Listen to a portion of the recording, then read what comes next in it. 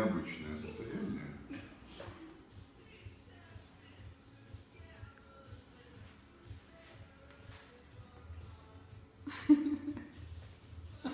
Ой, капец. Капец в хорошем смысле этого слова. Ну,